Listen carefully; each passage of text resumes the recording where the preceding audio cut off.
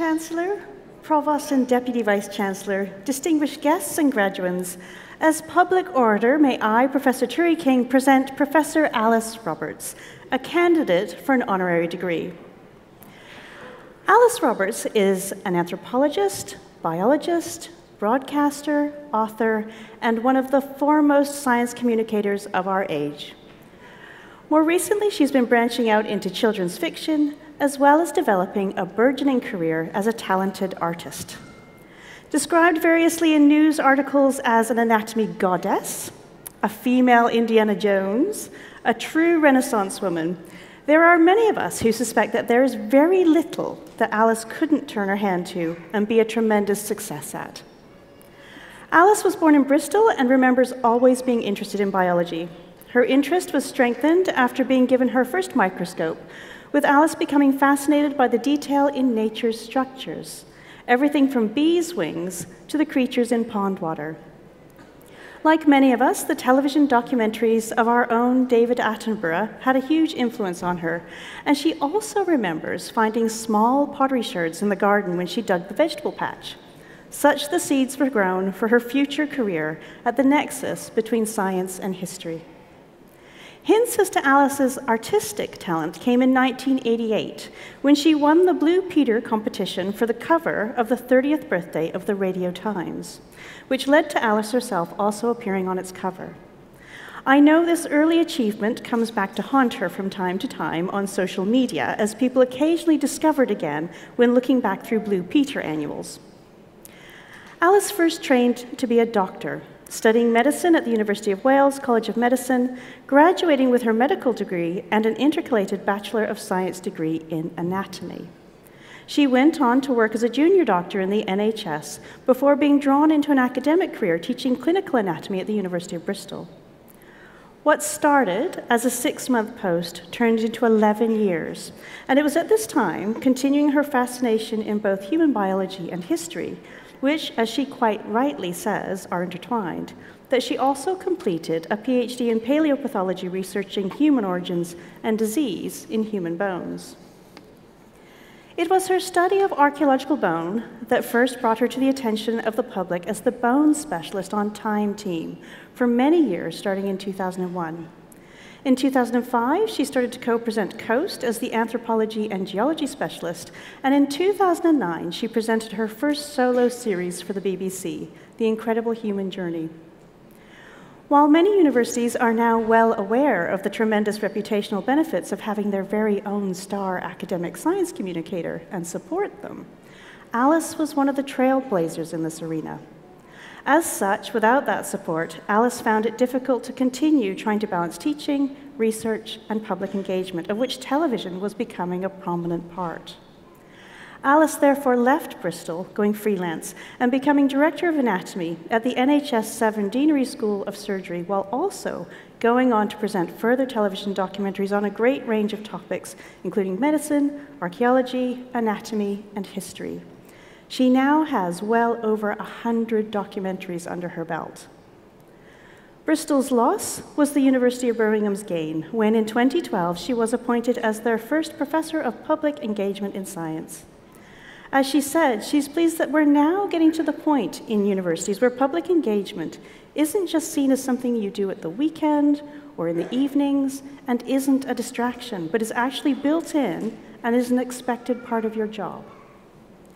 Among her other accomplishments, sorry, among her other accomplishments, which are frankly too numerous to mention them all, she has written 15 popular science books, has been on the advisory board for science festivals, as well as the prestigious Milner Centre for Evolution.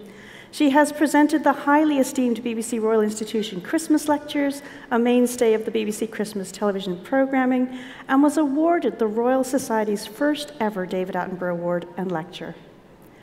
As well as having been president of the Humanists UK, she also chaired the live weekly independent SAGE briefings, streaming online during the pandemic, sharing up to the minute facts, figures, and science advice to the public.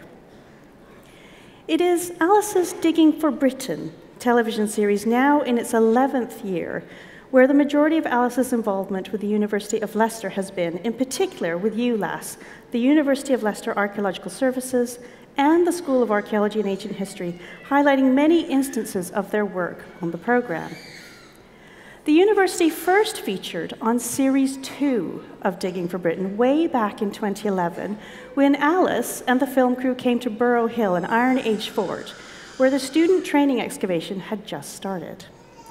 John Thomas of ULAS recounts that there was some competition from the very modern hill fort residents in the form of some very noisy sheep who were constantly interrupting and annoying the sound crew. Since then, the university has featured on the program numerous times. I particularly remember Alice tweeting cryptically that she was filming on the site of an amazing new archaeological discovery but couldn't say any more at the time. She had, in fact, joined the university team to help uncover the incredible Rutland Villa and Trojan war mosaic near Oakham in 2021 2022, a site described as one of the greatest archaeological finds ever in this country. Alongside the assignment, the team at ULAS recall a particular moment which shows Alice's natural kindness. While waiting for more mosaic to be exposed, unscripted and natural, Alice gave an impromptu human bone session for some of the students, something which no doubt was one of the highlights of their time here. ULAS also features in the current series of Digging for Britain with the Leicester Cathedral project led by Matthew Morris, the very same archaeologist who found King Richard III and who has now revealed a hitherto unknown Roman shrine underneath the cathedral. Alice is a passionate advocate for the public understanding of science and the importance of scientific literacy for all of us, something which, if we've learned anything in the last four years, has been at times all too lacking. At a time when we desperately are in need of experts who can explain the science behind complicated subjects and provide a calm, rational voice in the face of widespread misinformation, talented science communicators are more important than ever, and Alice Roberts is among the best. Beyond her very many professional accomplishments, Alice is known for her strong support for women and diversity in science and her warm heart, championing reason, compassion, and empathy. It is her firm belief that kindness and love are what make this world a better place. Today, we celebrate Alice's towering achievements. She is truly one of our country's national treasures. Chancellor, on the recommendation of the Council and the Senate, I present Alice Roberts, that you may confer upon her the honorary degree of Doctor of Science.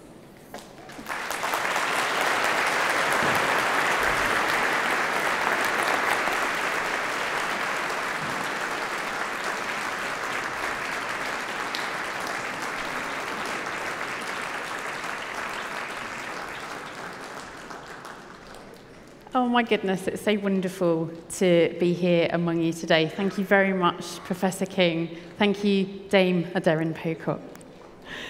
And thank you all for having me here. Um, it is a great, great honour to be amongst you today on a day which is uh, incredibly celebratory. I hope you're all incredibly happy and incredibly proud of what you've achieved to be here today. And it's wonderful to see so many family as well here to support you and here to realise that achievement with you. We're all here dressed in thoroughly medieval garb. It's wonderful. I love the way that we get dressed for these occasions. We, it helps us memorialise it. It is very medieval. For those of you that are graduating in archaeology and heritage today, it's very fitting indeed, but the rest of you are allowed to enjoy it as well. It's a physical representation of all this hard work. I mean, the, the hard work that you've put in over these years to get to where you are today. And this is helping you to memorialize it, to remember it. We've all got hats as well. You will get a piece of paper like me, and all of that hard work is distilled into that piece of paper, but also, of course, it's there inside you, inside your brain as well. So we've got these tangible reminders of what is important about today, but I want to introduce you to an intangible idea. So if you'll humour me for just a moment while I'm talking, I want you to imagine that as well as wearing your medieval gowns, and you've got your hats to put on later, and that piece of paper, I want you to imagine that you've got a torch in your hand today. Not an electric torch, not one of those, in case that's the first thing that leaps into your mind, or your mobile phone with the torch switched on. No, no, no an Indiana Jones style torch. So it's going to be a big stick, it's going to be a blade, it's absolutely flaming. And you've got that there today. I want you to imagine that you're holding this bright, bright torch in your hand, and that represents your incredible achievement and your degree today.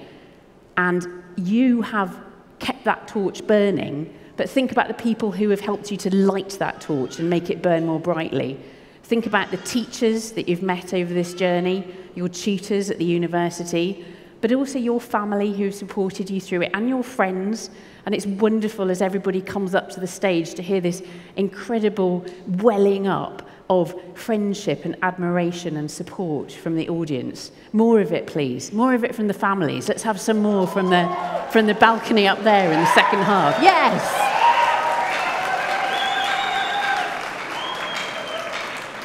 It's a wonderful celebratory day. So, in your mind, I want you to imagine that you've got that torch. Let's leave that intangible image there for a second. You, are holding it in your mind while I carry on for a moment. I want to talk about some tangible experiences that Turi has already just hinted at or mentioned, because I've had some absolutely incredible, really memorable experiences with, with colleagues who are here today on the stage, coming to visit University of Leicester archaeological sites as they're progressing seeing the archaeology actually emerging out of the ground is one of my favourite things. There's these moments of discovery when suddenly you see something which has been hidden, sometimes for centuries, sometimes even for millennia, and you get that incredible moment of contact with somebody who lived many, many generations ago and ideas travelling through time. So, about this time last year, I was visiting Leicester, and Matthew Morris was running the dig next to the cathedral, the cathedral, of course, that now holds the human remains of Richard III himself, emerging from, again, a University of Leicester dig, and with Professor Turi King doing the genetics on those human remains that proved that this was indeed the king. Next to the cathedral, Matthew Morris was excavating down and getting down to Roman layers. And because of work done by the University of Leicester, we perhaps have the best idea about any Roman town in Britain from the work that has been done here in Leicester. We really can imagine what it would have been like to live in Leicester uh, more than 16 centuries ago. And they'd got down to these Roman levels, and I had one of those phone calls where a producer rings me up and goes, I don't know what you're doing next week, but is there any possibility you can just come up to Leicester and see what they're finding? I said, What are they finding? something Roman and it's really exciting. So I, so I jumped on the train and came up to Leicester. And what Matthew and his team had found was a, was a subterranean room, a kind of cellar, and in that cellar there was an altar. So it was a Roman altar, probably a Roman shrine. Now, we can't draw a direct connection between that shrine and the cathedral, but there's still a wonderful synergy between those two points in time. And the tangibility of it through the archaeology is what really fascinates me. Then, as Turi said, I was in this field in Rutland uh, as the wheat was being harvested, and then as the excavation progressed. And I was able to actually get involved in that excavation myself, and it's something I will never forget. I will never forget it. Troweling back and then brushing very, very carefully as tiny little square stones started to appear of this absolutely extraordinary mosaic. It was beautiful. Our foremost mosaic expert in Britain said it's the best mosaic find for at least 100 years. It was utterly unbelievable to be there at the moment that it was uncovered. And what was extraordinary about this mosaic is a lot of Roman mosaics are patterns, beautiful patterns. Sometimes we have animals on them, sometimes dolphins, um, sometimes a Roman deity appears. But this mosaic had a whole story. It had three panels. In the first panel were two warriors fighting each other in chariots. In the second panel, one of the warriors had killed the other and was dragging his body behind the chariot. And then there was another person who'd wandered into this scene who was pleading with the surviving warrior for the dead body of the deceased one. And then in the third panel, we saw again the dead body and the, and the king, because he was a king, paying for that dead body in gold.